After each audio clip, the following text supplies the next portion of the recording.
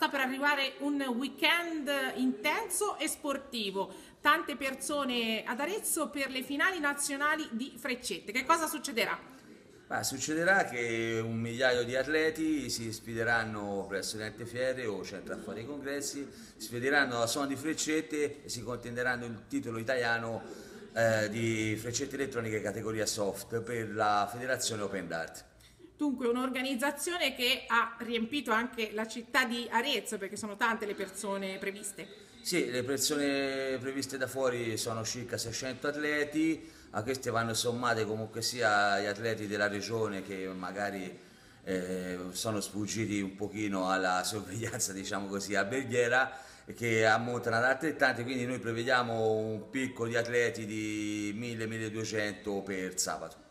Bene, e questo sport delle freccette si è diffuso molto anche nella nostra città, vero? Sì, siamo partiti più o meno nel 2006 con eh, diciamo così, una ventina di giocatori e quattro squadre per poi arrivare attualmente alle 140 mm, della regione con i 1000-1200 atleti iscritti solo per la regione toscana, considerando che poi verranno atleti da altre sette regioni sparse per l'Italia, vediamo quello che succede, vedremo quello che succederà dentro il centro affari.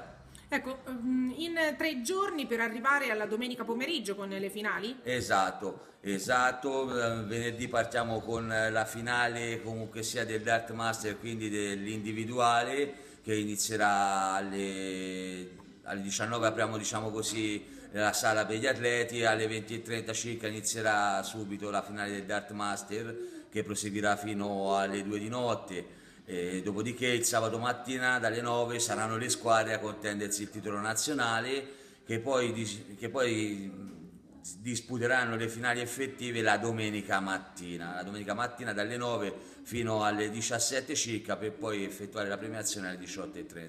Ecco, è previsto la presenza da Arezzo anche di campioni nazionali? Campioni nazionali, non solo, ma anche campioni internazionali. Per sabato è prevista la presenza di Cristo Reyes, un atleta professionista nel circuito PDC, che, che inaugurerà o perlomeno darà dimostrazione delle nuove macchine online, macchine di ultima generazione con le quali è possibile giocare con atleti in tutto il mondo e il campione portoghese Sala.